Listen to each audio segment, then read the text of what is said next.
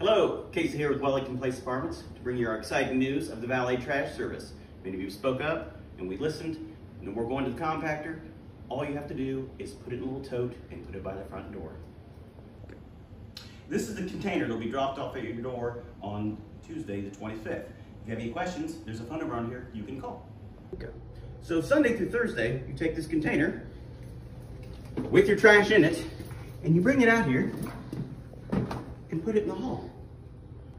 Containers that have trash in it like that, that's thrown in there, will not be picked up. Okay. So your trash bag, you want to put it in the container with it tied. Without it tied like this, no go. The bags must be tied and placed in the container. If trash is left like this, it will not be picked up and you will be fined. If you have multiple bags of trash, as I do today, they both can go in the container and need to go in the container, and they also need to be under 25 pounds. If you happen to have cardboard, such as this, make sure it's broken down and placed behind the container, and it will be picked up. After your trash has been removed, please make sure your container is brought back inside before 9 a.m. the next business day.